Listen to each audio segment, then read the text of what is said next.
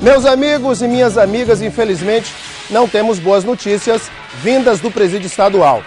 Olha só, lá do Francisco de Oliveira Conde, onde estão recolhidos a maioria dos sentenciados pela Justiça Acriana. Na tarde desta quinta-feira, um homicida foi executado por colegas de cela em virtude de desentendimentos.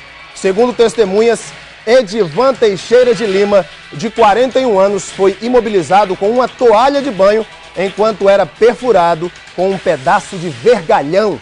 Os detalhes na reportagem de Paula Amanda. Edivan Teixeira de Lima, de 41 anos, foi assassinado dentro da unidade de regime fechado 1 do presídio Francisco de Oliveira Conde. Edivan dividia a cela com mais quatro colegas, entre eles Antônio Barbosa e José de Arimateia, com quem teve uma discussão por volta das 14h30, que acabou resultando na morte do preso. Segundo testemunhas, Antônio Barbosa teria enforcado Edivan com uma toalha, enquanto José de Arimateia perfurava a vítima com um pedaço de vergalhão. Os agentes penitenciários escutaram um grito e ainda viram Edivan sentado e respirando com dificuldade. Mas quando a ambulância do SAMU chegou ao presídio, Edivan já estava morto.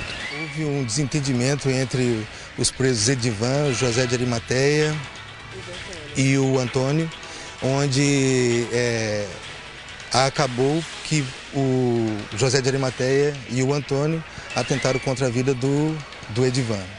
É, isso aconteceu na unidade de regime fechado, onde ficam os presos sentenciados. Haviam cinco presos na cela.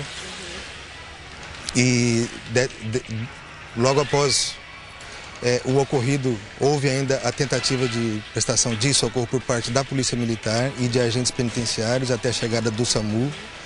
Só que, infelizmente, nós não, nós não tivemos êxito em, em conseguir reanimá-lo até a chegada do SAMU.